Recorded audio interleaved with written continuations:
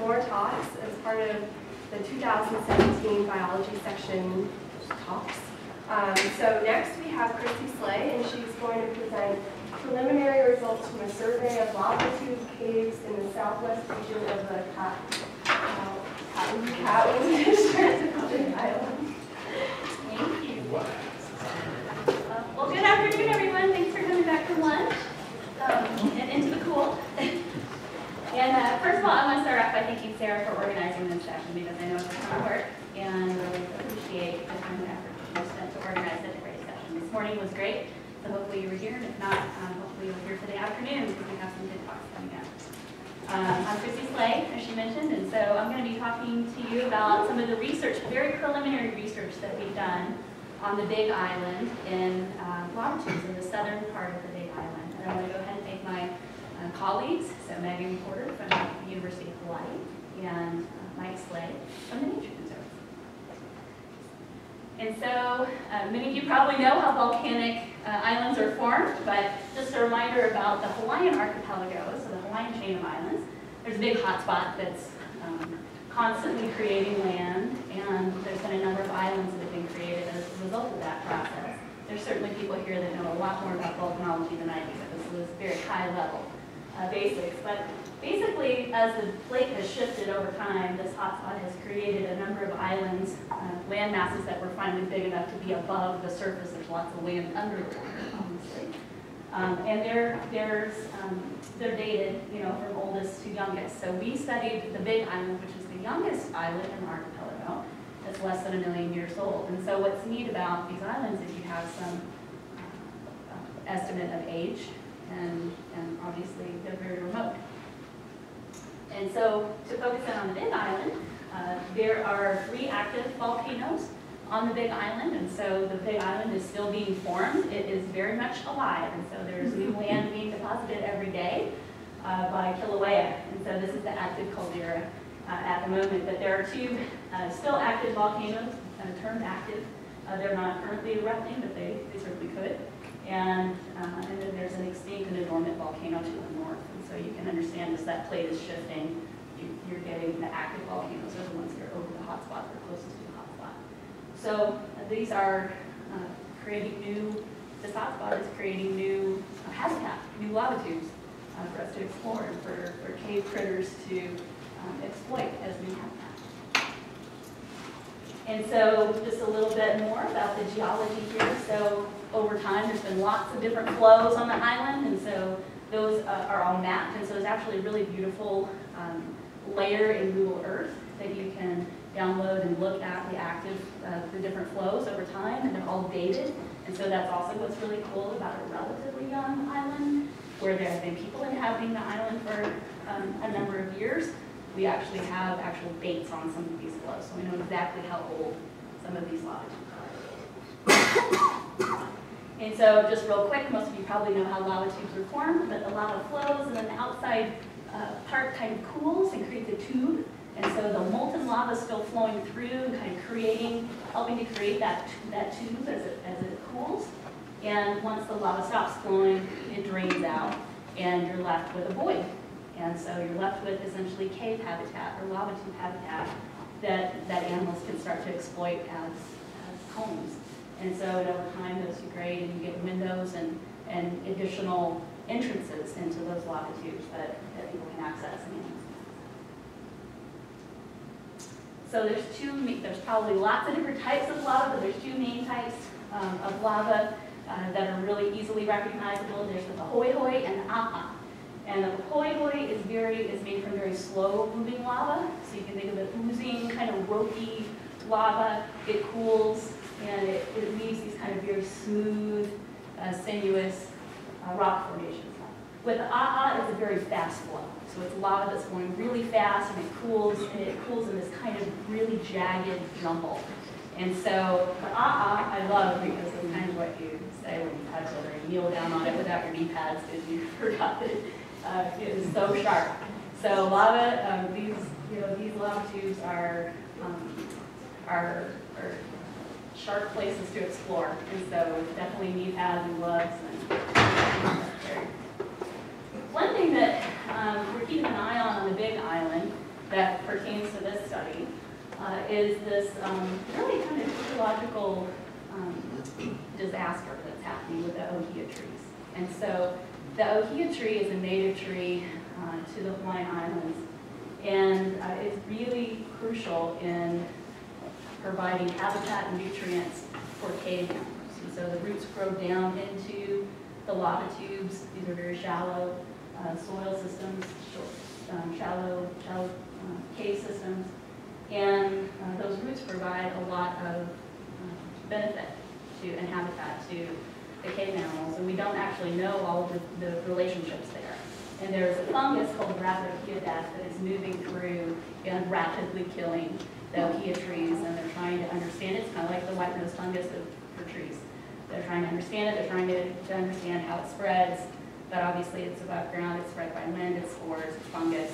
And so you can see in the areas um, where you've got, um, you've got this red, this is where there's, um, there's potential rapid ohia death. They're definitely seeing ohia trees that are dying, um, and, and they, they're assuming that it's from, from the ohia death. And this yellow are areas that are, are, are high mortality areas and, and also areas in drought. And then the green areas are areas where there's just ohia trees. And so our field sites are down here in this area. And so we're really keeping an eye on this and so this um, affects our cave. And then the, the ohia tree is just beautiful. It's got these beautiful red flowers and um, provides habitat for um, birds and all kinds of other species ground, not just, not just the wood critters. So there's been uh, quite a, some um, research done on cave species in, Hawaii, in the Hawaiian Islands and on the Big Island. And uh, this is from a, a, recent thesis in 2014. Um, his name's Asa, he's a master's student. And uh, he, he uh, did his master's work on the cave fauna of the Hawaiian Islands. And so just wanted to show you here some of the estimates that he has in his thesis. Uh, he went through and really looked at all the published and unpublished research uh, available and, and uh, made estimates of the number of species that are, are known. And you can kind of see as you look at the largest island, um, estimated to have 50 species. And then you can see that that really drops off as you look at the total area available for habitat, um, the total island area. And so this relationship is what's interesting, obviously, about islands. And so uh, kind of the tenet of, of studying islands is that, that uh, concept of island biogeography, really looking at how do species colonize um, islands and, and how do these evolutionary events take place? How do species even find remote places, um, such as the Hawaiian Islands? So, so the Big Island in the Hawaiian archipelago is 2,400 miles from the nearest landmass. It's one of the most remote islands on the planet. And so you just think about species even colonizing here, uh, the chance of that happening, the chance of them being there, um, and then and then the speciation that happens and why it happens. These are all questions that we have. And so another thing that's unique about the Hawaiian Islands is that there's lots of invasive species. So we, uh, humans have been bringing over invasive species, either agriculturally or, or otherwise, uh, for a number of years. And so right now there's estimated to be 2,500 invasive insect species alone on the islands. And so that's another factor. You're seeing, we're seeing that there's um, not only speciation happening of native species, but also species um, speciation in cave habitats of non-native species. And so we're getting, getting um, non-native species underground. And so some of the things that we're interested in. Um, thesis, wanted to also point out that he, he looked at this uh, concept, and you can see this is usually a curve, and so this is the island area, the species area curve. And so if you take all of the um, all of the islands that are in the Hawaiian archipelago, and you look at the number of cave species, um, and the area of the island, the size of the island, you can see that there is this incredible you know, linear relationship between uh, the size of the island and the number of cave species. So, um, kind of getting back to that, um, that concept of the species area relationship. So, um, as mentioned, there's a number of species um, that have been documented in the Big Island. And so uh, about uh, 44, in some cases there's been estimates of 50 species uh, that have been estimated just from the Big Island alone, and about 10, 23 different taxa. And many are not published or described. And so that's what we're trying to uh, trying to do with this study is to really document some of these species and get them described and, and really trying to understand the distribution of the species on, on the Big Island and the diversity. And so the known taxa so far um, are things that you would commonly find in caves. So isopods, mites, spiders, centipedes, millipedes, springtails, crickets, beetles, uh, plant hoppers. Um, we also, also one species of amphipod um, that is currently undescribed and only known from one, one place on the island. And so the goals for our project, as I mentioned, were to uh, survey the caves of the Ka'u District and really document what's there and, and do a pretty thorough inventory. And really increase our understanding of the baseline of what's in these caves so that if the ohia death does come uh, to this area, that we can understand the impact that that has on the caves, at least kind of like a lot of the white nose tops are having today. You know, at least if you've got baseline data, you can understand the impact. If you don't have any data, then you don't know uh, the impact on the caves. And so this is our study area. And so I'm on the southern uh, tip of the island in the ocean view area, so it's a little um, magnified view there. And so it is very um, desert-like, and so at the, at the lower elevations. And so not a lot of vegetation as you go a little bit higher in elevation. There is some vegetation and there are trees, the ohia trees. But um, what's unique about this field site is we can get down almost to sea level and within a matter of minutes on very nice paved roads, be up three, 4,000 feet. And so we can really study caves all along this, um, this elevational gradient. And so we surveyed 13 latitudes um, on the Big Island in that southern region that I just showed you. And, and the surveys took place in 2015 and 2016 in the November-December timeframe. And we went through and we're really looking at, uh, we're looking for, for very specific caves. So we know that these organisms need roots and they, they need wet habitats. And so uh, the cavers that we've been working with have, have really helped us to identify some of those prime caves that we can go and, and survey so that we can really focus our efforts on those caves where the habitat is probably uh, going to be conducive to having cave species. And so you can see us all around a pile of roots, and so we must have found something really interesting here. We're all huddled around, but we spent a lot of time on that sharp lava, on our hands and knees, with our faces to the ground, really looking for some, some really tiny animals. And we also look at the roots, and so you know, we kind of start at the top and work our way down. And we go through the cave, and we, we divide up, usually we're not going through the cave like this, but we divide up and, and, and really do very thorough searches. And so we document our observations, but we also collect specimens to take back, because um, that's the only way that we can can either get genetic material for species descriptions or to, to do morphological or um, physical descriptions. And so at the end of the day, we always come back and bring all of our specimens back. And um, with the help of rum and tropical fruit juice, we process all of our samples. So we have really long days, uh, but we make it fun. And we, we uh, take a lot of pictures, and we, we have portable microscopes where we can process our samples and get them organized so that um, when we leave the island, everything's uh, kind of contained and as it should be, and we photo documented everything. This is the fun part, the end of. So I'm going to give you a little bit of a historical overview of what's um, kind of the exciting, what we think are the exciting species uh, that, that we've documented um, from the Big Island. And so a little bit of history here. Uh, this is a cave amphipod. There's only one species known, and it's not from the Big Island. It's actually from Kauai, which is not close. Um, and it's only known from a few caves in Kauai, and it's, it's technically a federally endangered species. And so it's protected, it's very, very rare. And we had read this paper. Obviously, we have never seen one. And we had this picture that was from, um, from the paper from, from Bousfield and Howarth, and we had this, this uh, drawing to go on. And so we didn't, we weren't necessarily expecting to find this critter. It's only known from Kauai. There was one that was documented on the Big Island that hasn't been described, and, and it's um, not in the public collect collection. And so uh, we were in a cave, and uh, I'll tell a little story on myself, and actually all of us. but we were in a cave, and, and I saw something that I didn't know what it was. It was a white blob, It wasn't moving, wasn't doing anything that I had ever seen in an animal. It didn't look like anything I'd ever seen before. And I sat there for a while, and I felt silly. Like, hey guys, I don't know what this is. Uh, but I finally had to say that after I sat there walking up and looked at it, I I actually don't know what this is. And they came over and, and looked at it, and oh my gosh, this is And we were looking at this guy. And then we had to figure out how to collect it. And none of us had ever seen one before. We didn't know if it was going to jump, if it was going to crawl, if it, all of the amphipods we've ever seen, or that I've ever seen, are aquatic, and they swim.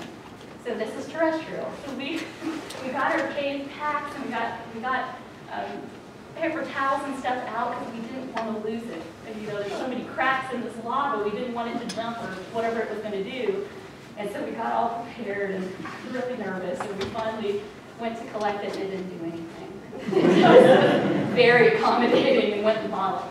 So we were really relieved that we were able to collect it. And we're so excited. Uh, this was a, a really cool discovery and a really cool find. We're not quite sure what species it is. And so um, that was a, a really, really fun discovery. And then the, the next one that we were really excited about, this is actually a terrestrial um, species that's related to water striders. So you know those little um, insects that, that um, can walk on water. Uh, this is a terrestrial version, so it's, and it's a cave adapted version. So again, it had been documented um, in two caves on the northeast side of the island, so not anywhere near where we were. Again, we weren't sure that we would see this. Uh, we had this drawing to go off of. We didn't even have necessarily a photograph. And it. And so uh, we, we were very excited to see this. It was on kind of a cave, very wet cave wall, and again, just kind of hanging out and, and allowed itself to be collected very easily. And so we've got one specimen in two years. So these things are not abundant. We have searched and searched and searched for this critter, and we found one. So this is a really special um, organism. We went to thank the Nature Conservancy because they allowed us to go in the cave, their cave, and find this cool critter. The next one that we're really excited about, um, this is a, a, species called a thread-legged bug. And so it is a, a, really, you can tell by its, its body shape, it's a predator. It's got these kind of raptorial uh, front legs. And there's one species that's known from two caves, again, on the northeast side of the island. So again, we didn't know what we would see. We're far away from, from those sites. And, uh, but we had an idea that we might see these guys because actually Mike and I did our um, had our, our honeymoon on the Big Island. Um, we were camping and uh, bumped into to Don Coons randomly and, and got to meet him and he took us caving um, on our honeymoon, which was so cool. We had planned to go on lava tube and he took us lava tube. And we saw this critter and we took a picture of it and Mike knew enough at that time, I didn't know what we were looking at, but Mike knew enough to know that this was not uh, known from this region of Hawaii. And so this was back in 2000 uh, 2006. And we published this picture in Entomological News, and then here we are, almost 10 years later. And uh, we found this species in the southern part of the Big Island, and we've, we've um, discovered seven of these individuals from four different caves. And so they're, um, wouldn't say abundant, but they're at least um, around a little bit more than that, than that um, water strider uh, species. And so we are finding them uh, not in great numbers, but we are finding them in different caves. And then uh, the last species that I'll highlight, or group of species, um, are plant hoppers. And so they are related to, you probably have them in your yard, the little green plant hoppers that, that hop when you, when you touch them. There are cave adapted versions. And so there's three species that are known from the Island. Their, their distribution is here on this map. So you can see there's where they distributed. And uh, recently, that was the original study. Recently, there's been a study, a genetic study, that has, so there's actually seven species from the Big Island. And so they're not all described, right now they're just species A, B, C, but uh, there is more diversity here than, than we thought just based on the genetics, which is exciting. And Megan's going to be talking about plant hoppers. Uh, so she's going to tell you all about the number of tops I won't spend a lot of time on right now. But we are finding plant hoppers, um, and this is my husband took all these pictures, this is particularly a beautiful one. But they have these waxy tail filaments, which Megan will talk about, uh, those structures and what they're used for. But uh, we found these in, uh, they're pretty abundant and they're also pretty uh, just uh, well distributed. So we found them in 12 out of the 13 caves that we sampled. And uh, we find them on roots. And then we also found, this was exciting, we found this pigmented um, plant hopper with kind of reduced eyes. And so it is not the same species, but we don't know what species it is. And so we're hoping that it's something new. And so this is the, uh, we surveyed the 13 caves, and so here they are here.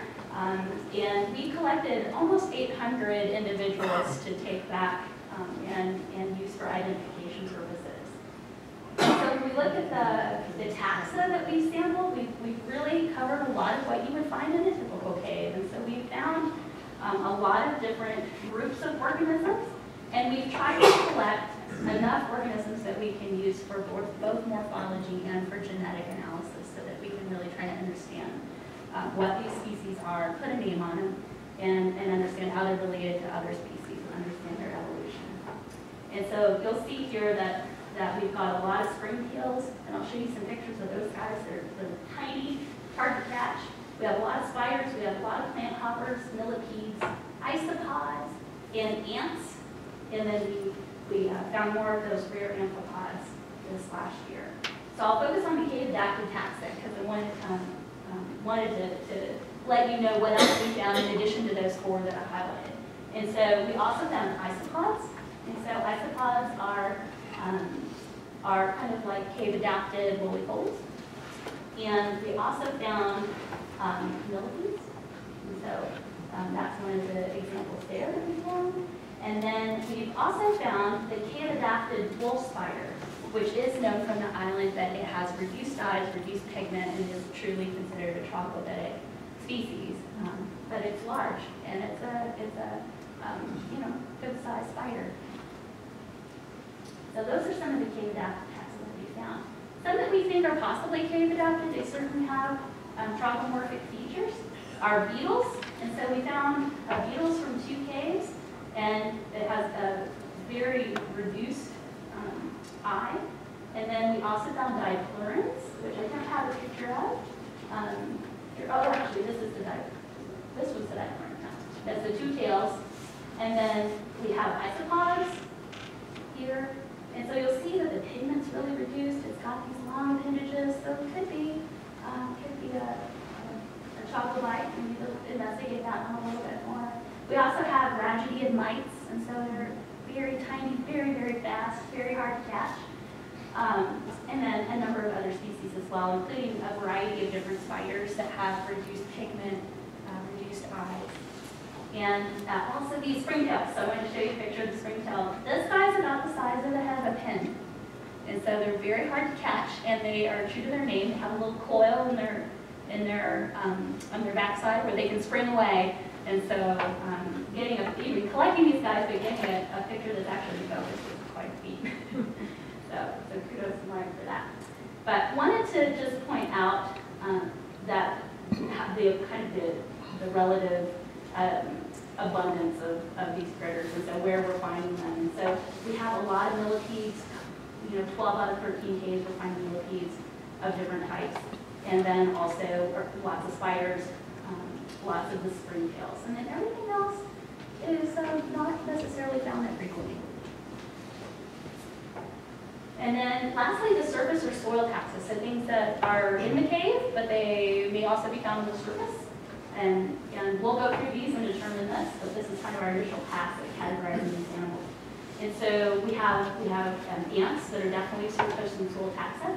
We also have um, aphids, which I thought was really interesting. So in several of the caves, we found, and this is the aphid here, we found this, you know, kind of agricultural um, surface pest down in the in the cave, and definitely there were predators around, and so you could curious about the ecological um, significance of, or I am anyway, of the ecological significance of having um, some of these um, more kind of pest type animals that are that are um, using the cave as refugia. We also found mealybugs, which are also agricultural pests.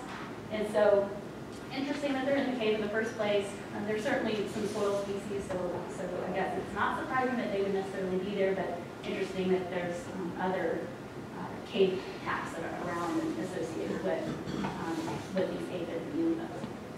Then we also found cockroaches and crickets and, um, we also found some flatworms, flies, other good stuff.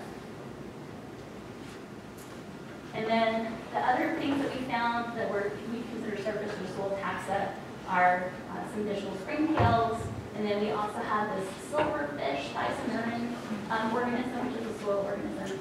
Plant hopper, again, we're not sure if it's a, if it's a new species, and we're not really sure if it's a, a troglodytic species or a troglodytic, if it's kind of exhibiting some troglodytic characteristics. There's also these Schrankia moths, which are, they specialize on the roots, and so they actually um, lay their, their, um, they ha- lay their eggs and have caterpillars, and, and their cocoons are on the root, the roots, and so you see these uh, very frequently in the caves.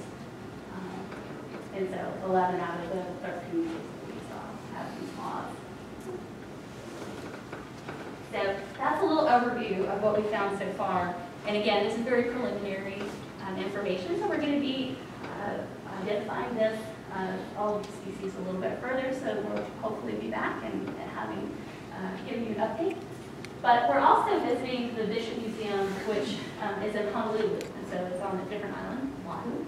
And we spent uh, several days there because that, the Bishop Museum houses the current Hawaiian cave um, invertebrate collection.